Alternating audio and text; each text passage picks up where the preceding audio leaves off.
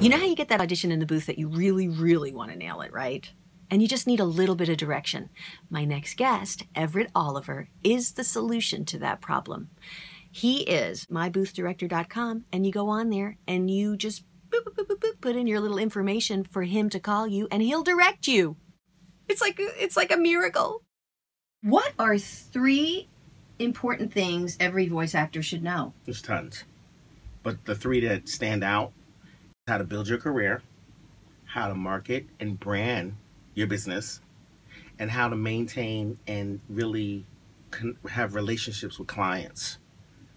I think those things are really, really important. I think that actors are missing out on those things. I think they're worried about bookings and bookings and bookings, but they're not seeing the overall picture of the actual voiceover business. And it's weird for me because I came from the union side of the business and I had to learn the non union side of the business. And I feel like I was at a time where, especially working at the agency, that the union actors were specifically counting on the talent agencies to help them with their business and maintain those relationships and you know market and branding which really agents don't even necessarily have that time. But the non-union actors really are focused on all those three aspects. Agents can't do everything you know? You have to take it upon yourself to really build your brand build you know market yourself to to so that the buyers know who you are. Because there's thousands of you guys who are auditioning for copies around the world. And I think union actors, if they, I guess if you want to use the word associate with non union actors, they'll know what kind of sort of like competition is as far as what's out there. You know, it's not just, you know, union actors just counting on actor, counting on, I'm sorry, on your agents do you want to talk a little bit about your background first? Because I think your I think your business model is so interesting. I have a background in animation production. So I've worked on shows such as King of the Hill and The Simpsons. I did a about a I did a year on The Simpsons and I did about three years on King of the Hill. But the areas were kind of different. Um, I worked more with the animation artists and directors when I was on The Simpsons when I worked on King of the Hill, I worked with the executives and kind of like the network as well. So I was kind of sort of like the in between executive executive assistant liaison um, between the network and and the animation studio. Um, so after doing that for a couple of years, then I went over to voiceover casting. Um, and I did that for about maybe 10 years, working on shows such as um, Godzilla and Men in Black, Jackie Chan, Starship Troopers, um, so many. Uh, Big Guy and Rusty the Boy Robot.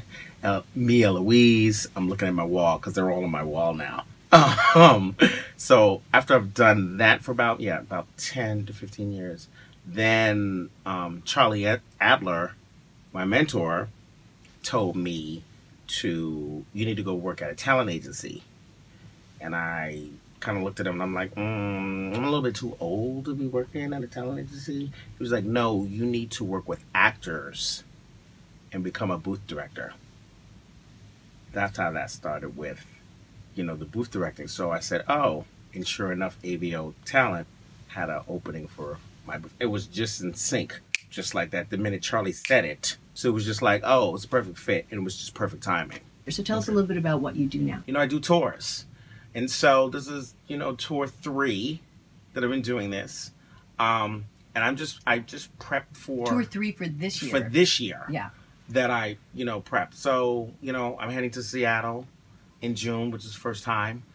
You know, my stomping grounds now has become San Francisco in July. Uh, I got a phone call from Dallas to come back in September. Um, I'm working on, you know, trying to go to Wovo, WoVOCon in November. Uh, you know, people will just throw out and have different events around the country. Hey, Everett, what are you doing? Uh, prepping or working with a client. Hey, why don't you come to this event? Blah blah blah. Oh, okay. Let me see if I can schedule in. You know, so I just hop on planes and you know travel around the country, meet people. I am like a career maker.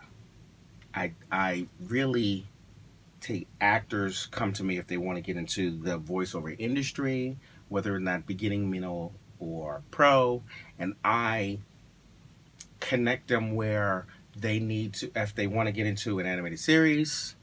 I work with them to help them get into animation.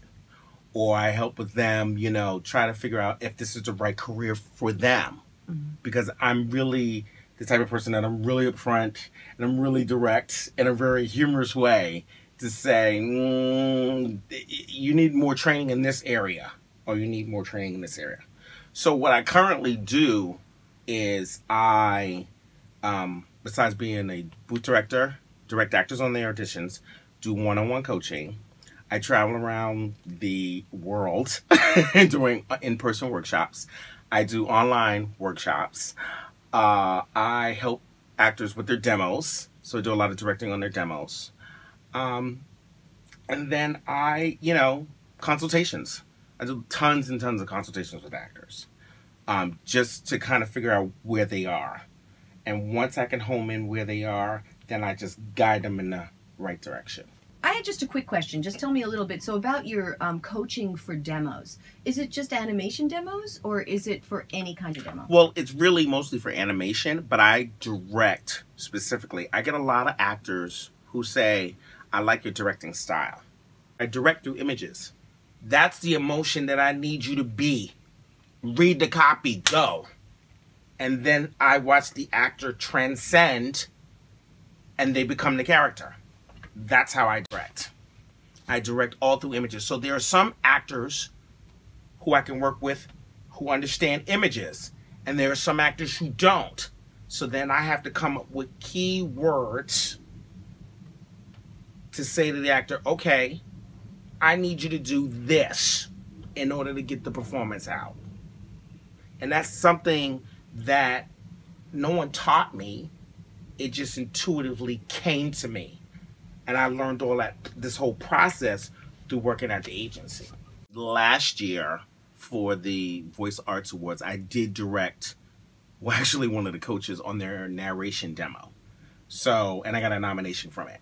So I figured, okay, I will put myself out there, but I want to also, you know, I'm also producing as well. So I'm kind of co producing mostly on animation, you know, demos and stuff like that. I partnered with somebody on the East Coast to work specifically on demos for animation on the East Coast.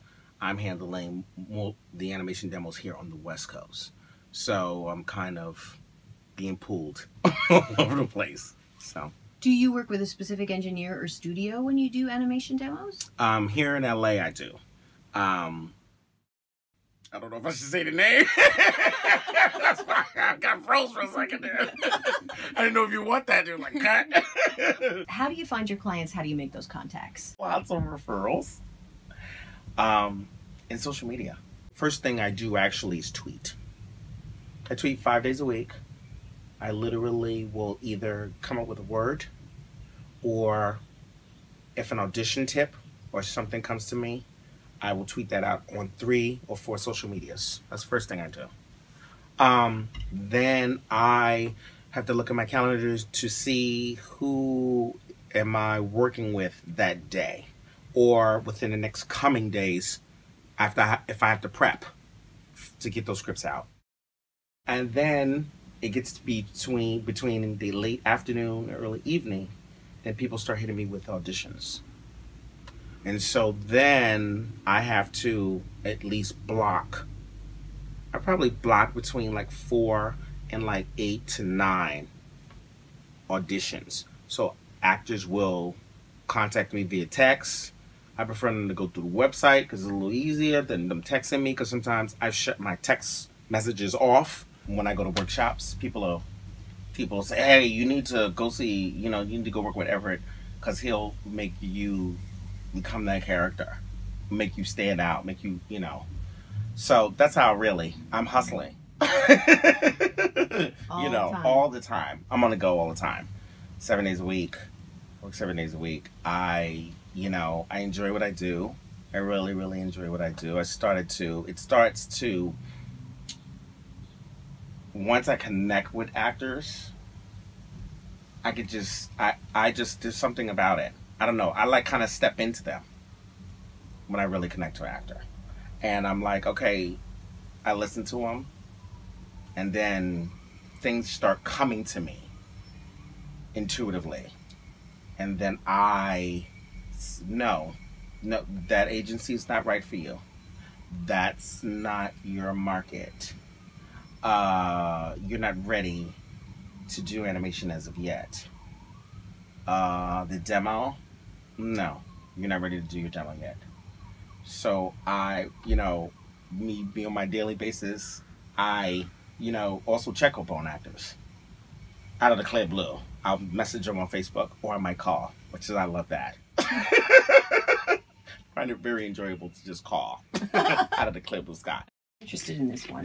Okay. I mean, I'm interested in all these. This is why. This is why I'm. I've been doing this. I mean, I'm. I've been finding all of this stuff very fascinating Okay. and stepping into, Mhm. like you said, but also stepping into other people's experiences and how they're conducting their business or their lives or Right. their voiceover career. It's so fascinating. Everybody's so different. hmm Okay, so Everett, what do you mean by teaching according to the market? Okay. What I mean by teaching to the market is the whole United States, we're all different. The East Coast and the West Coast. Everyone who was raised on the East Coast, they learn the noun, verb, and adjective. And so they speak and articulate very well. And then living here for so many years, I noticed that on the West Coast, we don't articulate as much. We're very laid back. We don't honor commas. We just speak freely. And so when I'm traveling, I pick up on people's dialect. You know, I, I play with them and I'll say, get rid of get rid of your the way you were taught in school. When I was in Chicago, I was like, oh my God, they all read the same.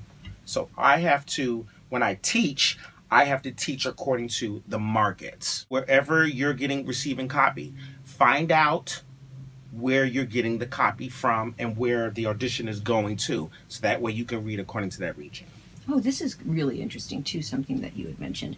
So uh, you had said you sometimes sense an actor needs a certain type of direction or coaching. How so? How do you match a person to a director or voice coach if you feel they need something else? How do you match a person? I intuitively tap into them. So when I'm studying an actor, after I'm done with them, I go, okay, you you have you have received enough information from me. I've gotten you to a certain point. Now it's time for you to move on. So I go through. It's like images come to me. So coaches' faces will come to me as I'm talking to an actor or as I'm, you know, coaching and I'm like, mm, this is the coach you need to go to because this other coach is not a fit for you because of your personality or it just wouldn't jive because I can hear it. Sometimes I'll something will just bother me and I'll go, no, you're not a right fit for that person. Or I'll get a list. Like the other day I did, I was talking to an actor and I had two coaches in mind. I said, this is the first one you need to approach first, not the second one. Hold off on it. I'm just giving you in chronological order. Don't don't get them out of order yet hmm. until I've gone ahead and at least I might even go ahead and reach out to the coach to make that connection and say this is where they are, this is where they need to go. I'm just passing them on to you. When I'm doing workshops, I like to play when I do workshops. So my shoes come off. I want everybody to feel comfortable and then I, you know, I want everybody. I bring them up because I want to hear them first what they can do, and then sometimes I want those little side curve balls at them, and I'm like, hmm, okay, let me see, let me, because I this is what I do. I take their neck. So this is your upper register, this is your middle register, this is your lower register, and I'll say, okay, so you're reading everything here. That's not your natural voice. Bring it down to your middle bring it down to your middle voice and I'll point to it and then the actor will, will start to really start to get into character you're not and then I'll stop them you're not there yet. Bring it down a little bit lower.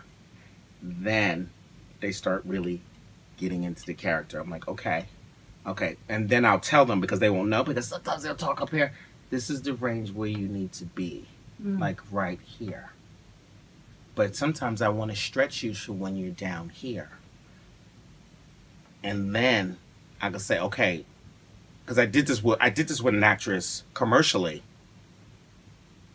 I said, I want you to do me a favor. I want you to come down here to your lower register. She says, I don't normally talk down there. I said, just do me a favor, just do it. And she did it. She actually booked a job from doing that. She says, I had never spoken like that down there. I said, just a little bit, just come down, just just slightly a little bit of register.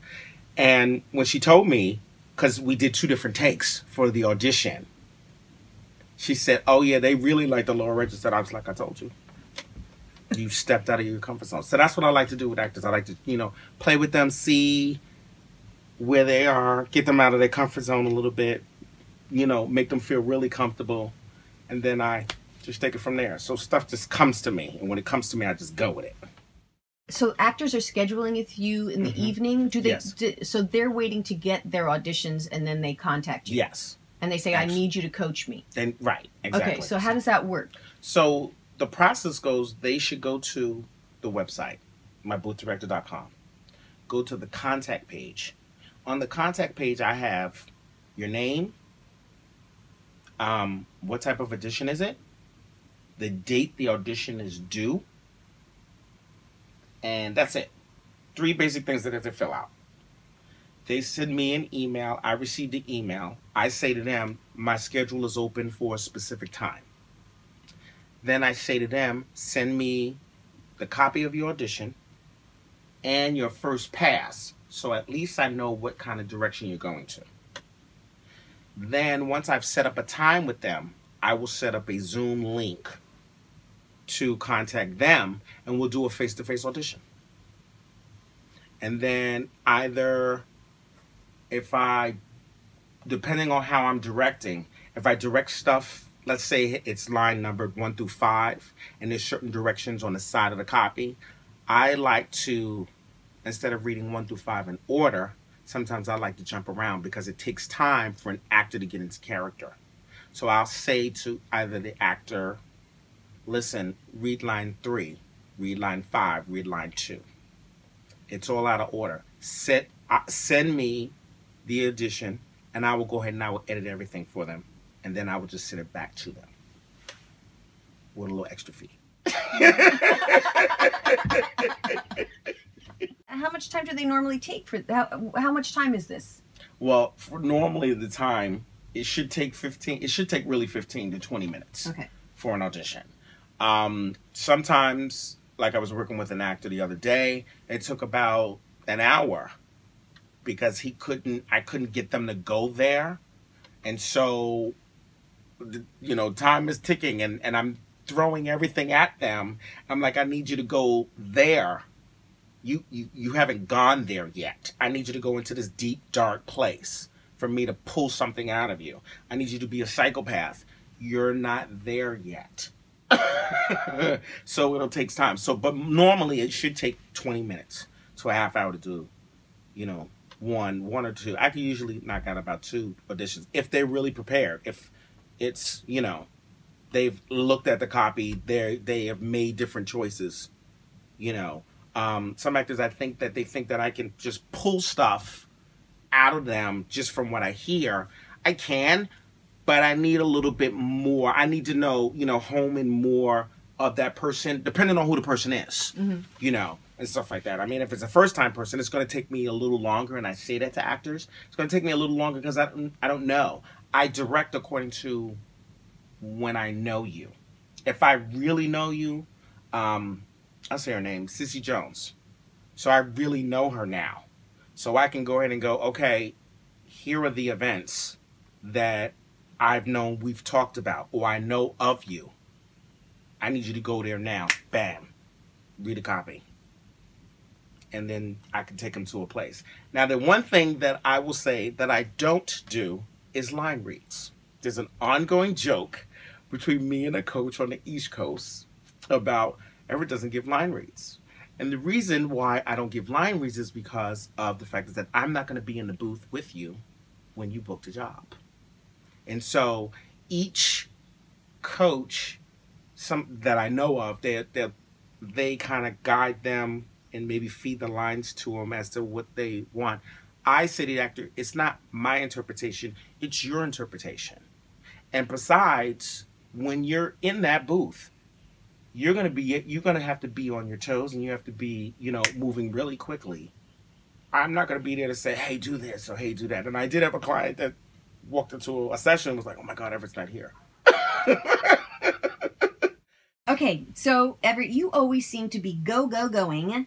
How do you recharge? What do you do to recharge yourself? You will not believe what I do to recharge. I actually meditate. I meditate seven days a week. Literally meditate seven days a week. That calms me down. Um, I, it, it was a process that I learned, and it took me to a place where I'm like, oh my god, okay. It actually keeps me focused as to what's happening because things come to you. Yeah, they do. When you're still. So meditation works wonders. That's the first thing I do. Um, I run on the beach once a week just to shake my body. I had somebody specific, specifically tell me you need to go shake your body. That way, let the energy, let the sun hit you for at least 15 minutes to recharge. Um, a lot of people don't know that I'm a spiritual person, so I go to church 7 a.m. every Sunday. One hour. so that grounds me. Uh, and the last thing is um, alcohol.